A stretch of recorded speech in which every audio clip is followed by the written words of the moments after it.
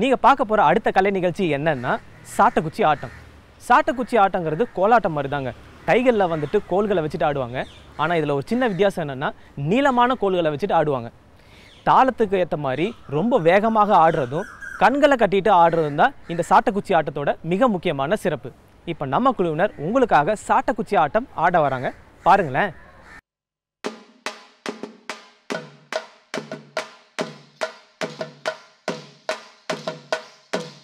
Thank you.